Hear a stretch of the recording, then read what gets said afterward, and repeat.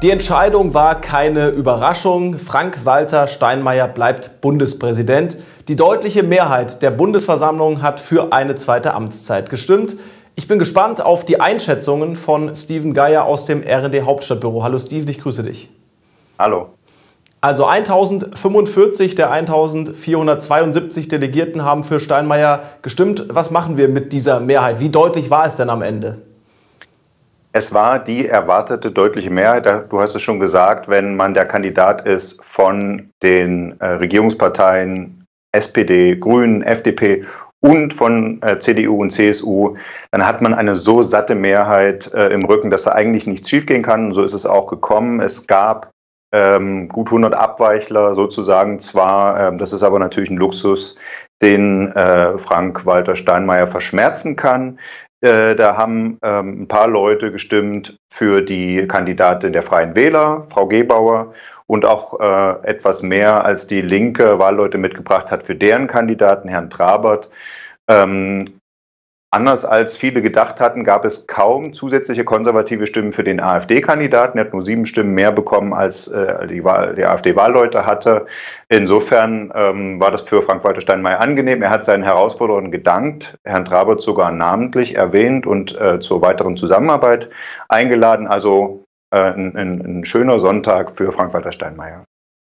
Es war ja eine sehr kuriose Wahl, vor allem aufgrund dieser Corona-Bestimmungen äh, fand das Ganze ja im Paul-Löbe-Haus statt. Am Ende mussten sogar 73 Nachrückerinnen und Nachrücker äh, mit in der Bundesversammlung dabei sein und an die Wahlurne treten. Dadurch war es ja wirklich eine kuriose, turbulente Veranstaltung insgesamt. Du warst mit äh, vor Ort dabei. Wie hast du es erlebt?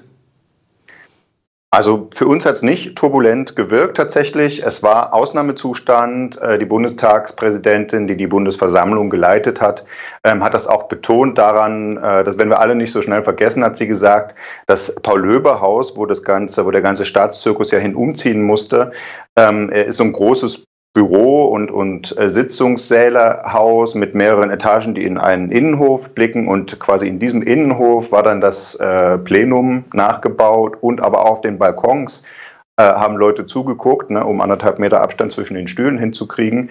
Also das war schon ein besonderer Anblick. Frau Baas hat gar nicht die Abstimmung genau äh, im Blick haben können, weil auf den Balkon in den Sitzungssälen gewählt wurde. Das wurde ihr dann zugefunkt und sowas. Also gemessen daran, muss ich sagen, war es eigentlich sehr, äh, lief sehr äh, geordnet ab, äh, überhaupt nicht turbulent.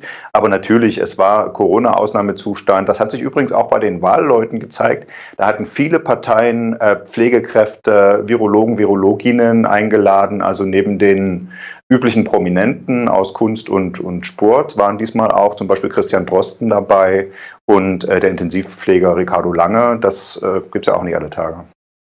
Angela Merkel war auch da, Gerhard Schröder wiederum, der Ex-Kanzler, war nicht dabei für die SPD. Da sind wir relativ schnell nochmal bei dem, was aktuell in der Welt passiert. Die Ukraine-Krise, die war auch Thema bei Frank-Walter Steinmeier in seiner Antrittsrede. Er hat viel über die aktuelle Lage in Deutschland gesprochen, aber er hat auch Wladimir Putin und Russland nochmal äh, ja, äh, erwähnt oder hat auch nochmal dort hier Worte in diese Richtung gerichtet. Ist das jetzt vielleicht auch so ein Hinweis darauf, dass Steinmeier in seiner zweiten Amtszeit ein bisschen mehr klare Kante zeigen wird? Das könnte sein. Also tatsächlich ähm, auffällig ist ja, äh, die Altkanzlerin äh, war unter den Wahlleuten. Die CDU hat sie nominiert. Der Altkanzler war nicht da. Ähm, das kann man sich schon damit erklären, dass die SPD da in der äh, Russlandfrage ja zerrissen ist. Und da, gemessen daran, hat Frank-Walter Steinmeier wirklich sehr deutliche Worte gefunden. Er hat äh, Putin direkt angesprochen. Äh, er sagte, äh, lösen Sie die Schlinge um den Hals der Ukraine, hat auch ganz klar gesagt, wir sind Teil von NATO und EU und so. Also das konnte man schon durchaus äh, als Warnungen verstehen. Und tatsächlich, das war äh, Klartext, ist allerdings nicht ganz untypisch für Steinmeier. Erstens nicht eine Russland-Frage äh, und zweitens schon seine letzte Antrittsrede hatte er mit so außenpolitischem Klartext begonnen. Da hat er nämlich damals äh, den türkischen Präsidenten Erdogan äh, direkt angesprochen, aufgefordert, dass er Dennis Yücel, den Journalisten, freilassen sollte.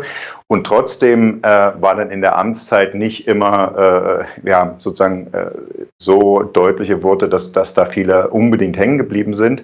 Ähm, ich habe aber trotzdem den Eindruck, er hat das Echo, das es vor seiner äh, Wiederaufstellung durch ihn selbst und auch jetzt, als sich abgezeichnet hat, dass er es wohl werden wird, ähm, hat er wahrgenommen, wo viele gesagt haben, wir wünschen uns etwas mehr Mut, etwas mehr Überraschung. Äh, und er hat natürlich neben den beiden Krisen, die wir schon erwähnt haben, Corona und Russland, auch die Klimakrise angesprochen. Er ist ja auch von den Grünen gewählt worden und hat da gesagt, die Demokratie hat immer noch die besten Lösungen gebracht. Verteidigen wir die gegen Populismus und seien wir optimistisch.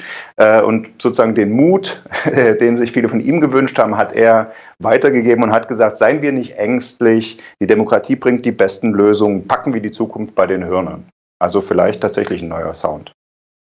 Tatsächlich klingt es danach. Mal gespannt, was davon dann hängen bleibt. Steven, äh, vielen Dank aus dem RD Hauptstadtbüro. Grüße nach Berlin. Grüße zurück. Also, Frank-Walter Steinmeier tritt seine zweite Amtszeit an. In diesem Jahrtausend ist er damit erst der zweite nach Horst Köhler, der dann ja 2010, kurz nach seiner Wiederwahl, die, den Rücktritt äh, angekündigt hat. Vielen Dank fürs Zuschauen und bis zum nächsten Mal. Tschüss.